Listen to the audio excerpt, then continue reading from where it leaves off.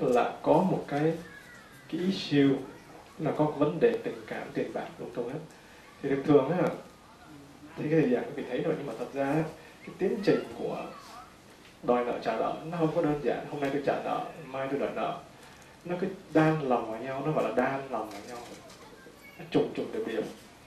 Nó là như vậy. Nhưng nói chung á, là cái chính á, là khi mà sống, khi quý vị sống với nhau mà có ưa, có ghét, có buồn, có giận ngay khi đó là quý vị đang sống trong cái sự oan già tại khi người ta trả nợ cho mình chiều chuộng mình cái, cái đời sống nó không có gì đơn giản đâu. Đơn giản thôi quý vị thấy ngày à, ở đây nè có ngày nào mưa hoài hay ngày nào nắng hoài không? Hồi sáng này thấy mới nắng bây giờ thấy hết thấy nắng rồi. Tại sao vậy? Mây tới. Thì trong cuộc đời cũng vậy.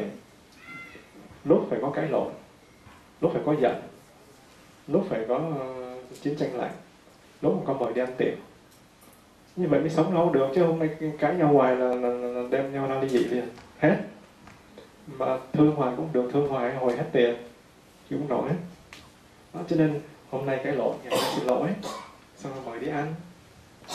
Làm hòa hòa đã xong lại cây lộn nữa. Thì cuộc đời nó spicy nó gọi là nó thêm mắm thêm muối như vậy.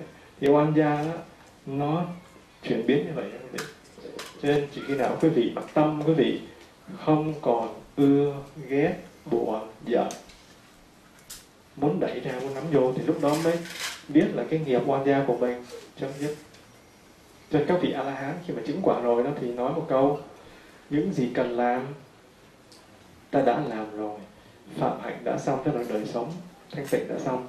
Kiếp này là kiếp chó không còn tái sinh nữa thế thấy không còn nợ ai nữa, mà không ai nợ mình nữa. Cho nên nó không có trở lại nữa. Còn mình mình phải trở lại ngoài yeah. Dạ. rồi. Trục trước rồi cô rồi. A di đà phật kính bạch thầy. Giờ con à, thì à, phật tử mới tập phú thôi. Mà con cũng từng được nghe là ngài à, mục kiền liên là một trong mười đại đệ tử của đức phật. Và ngài đã tu rất nhiều đời nhiều kiếp và đã chứng quả vì và có à, là thần thống đệ nhất. À, mà ngài tu như vậy mà tới khi cái nghiệp báo tới là bị ngoài đạo á là đánh chết. Và như vậy là ngài đã tu như vậy rồi. À, mà bởi vì là coi như không có chuyện được nghiệp. Như vậy chúng con tu như thế nào đây để cho được chuyển nghiệp yeah. anh phật tử đây uh, hỏi là ngài bồ kiều liên là đại đệ tử lớn là coi như thứ gì đi. Thứ thứ nhất là sáng đại phất ừ, thứ nhì là một kiện liên. Mời đại đệ tử nhưng mà thật ra là hai ngài là số một số hai. Tu giỏi như vậy rồi chứng là la hán là có thần thông mà vẫn bị ngoại đạo nó đánh chết. Thì chúng con tu sao chắc chắn là bằng ngài rồi thì làm sao thoát lên được ngoại đạo đừng đánh con chết. Phải không? Chuyên nghiệp. Chuyên nghiệp.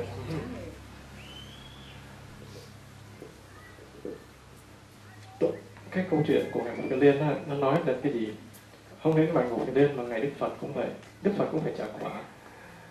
Trước hết là đạo Phật là, là một cái đạo dạy cho mình cái gì? Phải hiểu rõ lý nhân quả. Nhân quả là gì? Tức là mình gieo mỗi nhân nào đó, thì với thời gian nó sẽ cho ra cái quả đó. Cho như vậy. Rồi. Và trong cái luật nhân quả, nó nó cũng không có phải đơn giản là gieo nhân nào cho quả đó. Nhân quả đó thì đúng ra đó là phải ừ, gọi là luật nhân duyên.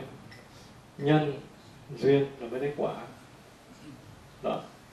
Thì quý vị đó, cái câu chuyện của ngài Mục Kiền Liên cho thấy cái gì? Là trong những kiếp quá khứ, ngài đã tạo những cái điều rất là xấu xa tội lỗi. Thì có những nghiệp sau mỗi một thời gian mỗi một kiếp qua mình tu hành thì mình trả cái nghiệp đó mình purify. Nếu mà quý vị nợ một cái nhà băng 500 ngàn để mua cái nhà.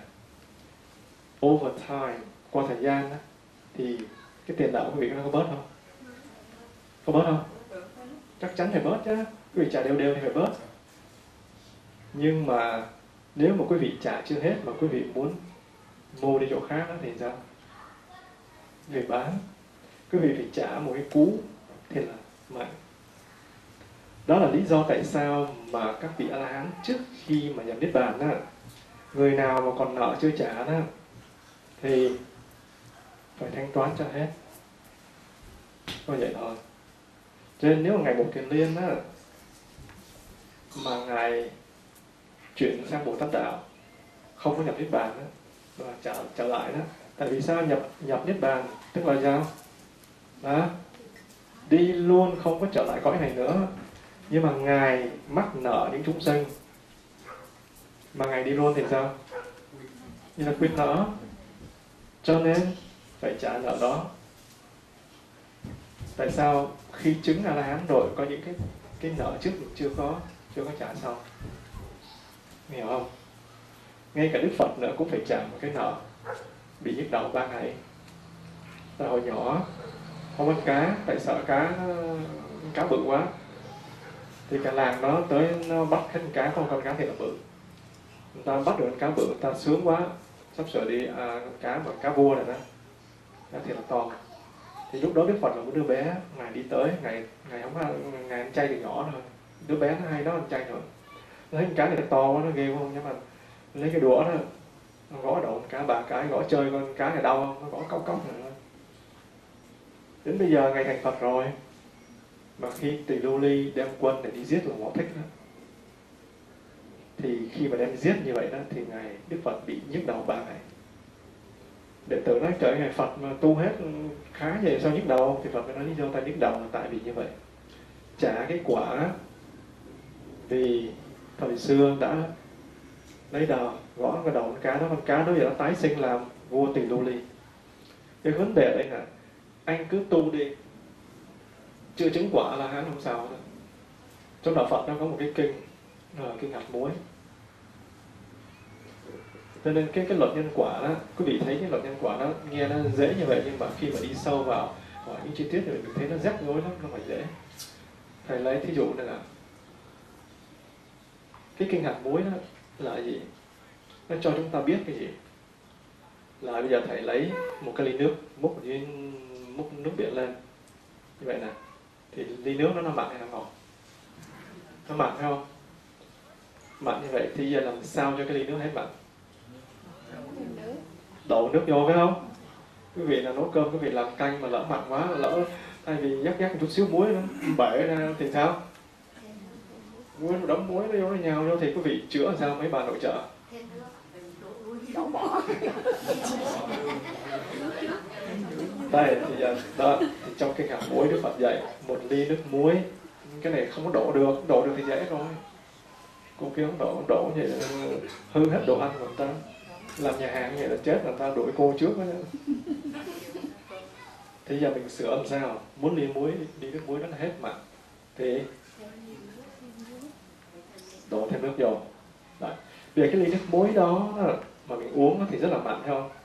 Nhưng một cái ly nước muối đó mình đổ vào một cái lu nước nước trong nước mưa đó. Thì khi ly nước mưa nó đổ trong cái ly, ly cái lu đó thì cái, cái nước lu á còn mặn không? Còn chút xíu. Giờ nguyên đem cái ly nước muối nó đổ vô sông hằng thì sông hằng còn mạnh không? À, thì nó nói cái gì? Cái nước muối là cái tội của mình làm.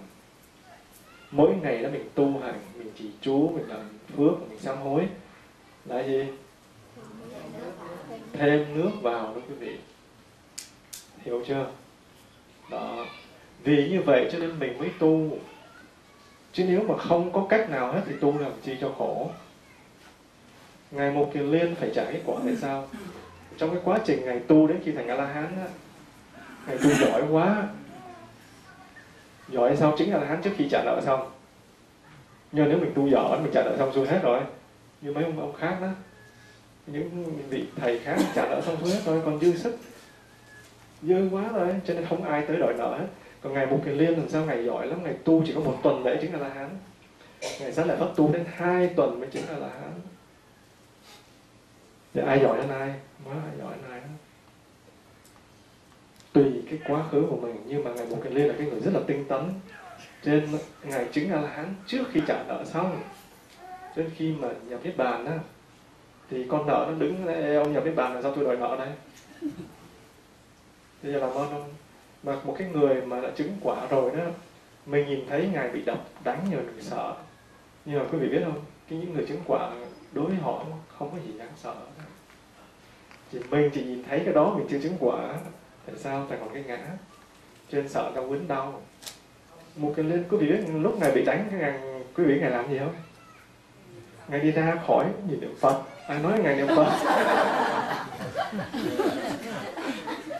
À, gì thời lúc mà ngày một ngày liên đức phật chưa có dạy mấy ngày năng niệm phật.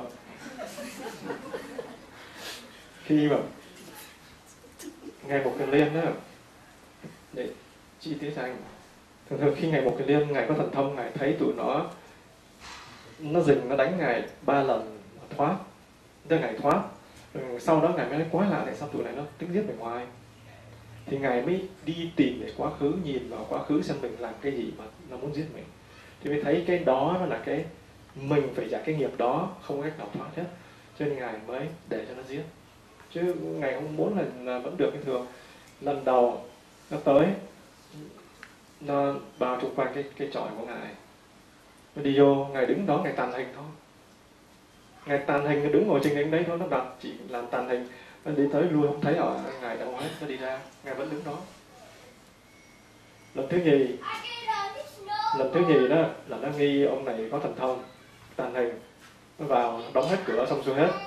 Không thấy ai mà nó cầm dao nó cứ chém bừa đi. Chém chỗ nào trống nào cứ chém hết. Tàn hình cũng tàn hình tức là không có nhưng mà vẫn đứng đó. Cũng chém bừa nhưng mà cái này ngày khác. Ngày thu nhỏ lại như kiến ngày bò theo đường vách cửa đi ra nói. Về lần thứ ba nữa là nó, kỳ này nó làm dễ sợ như là bao vây như là không có con kiến không lọt ra nữa. Thì lúc đó ngài lại dùng tầm thông, ngài biến gió mỏng hơn. Nó ra cửa sổ đi ra luôn. Nhưng mà sau khi ngài thấy rằng à, mình đã phạm một cái tội ác, trong quá khứ là gì? Đã đánh đập cha mẹ của mình. Đem vô rừng đánh đập bỏ trong đó chết, đánh cho chết luôn thì cái cái cái nghiệp đó nó chưa có trả. Thì bây giờ trước khi nhập niết bàn, mình phải trả nghiệp đó. Cho nên khi mà nó vào đó, khi nó vào nó chém thân ngài thì ngài đã gì quý vị biết không? Ngài đâu còn ngồi trong đó nữa. Ngài đi ra rồi. Đó. cho nên, giờ bây giờ quý vị thấy cái xác chết à?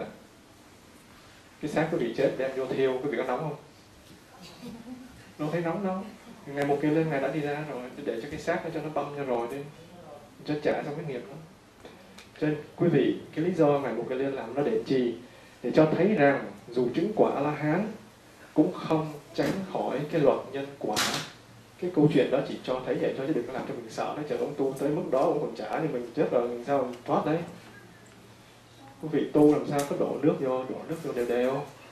Đến khi nào á, cái nước đó là cái phước của mình đó ít nhất nó bằng cái này thì cái này nó thành trung hòa. Nó có bị tu khá hơn nữa đó, thì sao? Nó ác cái này rồi. Đó. Hiểu chưa? Rồi.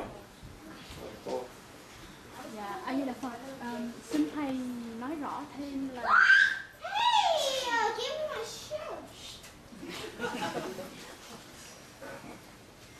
dạ là trong cái tiến trình mình vay trả trả vay á là khi mà mình đang à, trả nợ làm thế nào để mình đừng có vay nữa là khi giờ thầy cho con một cái ví dụ cụ thể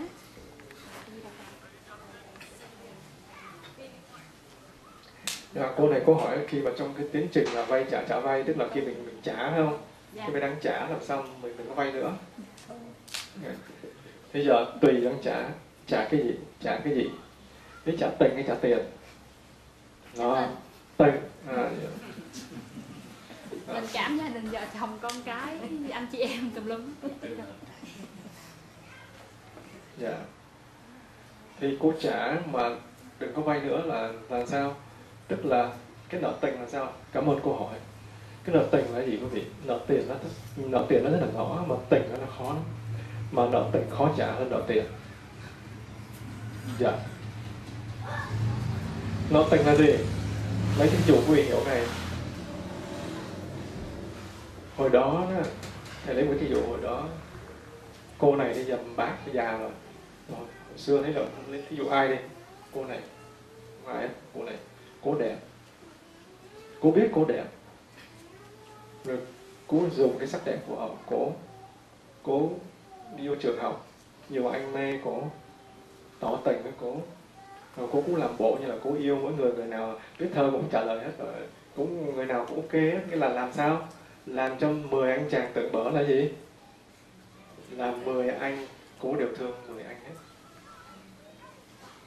Và khi như vậy đó, thì 10 anh chàng này dồn hết tình thương, anh nào cũng tưởng là mình thương cô này. Rồi cô được cố thương lại, thì anh chàng này dồn hết tình thương cho cô. Chiều chuộng, cung phụng cố như là cố muốn gì chiều hết thì lúc đó là gì? Là những người đó đã đang trao cho cô này cái gì? Tình cho cô này cái gì?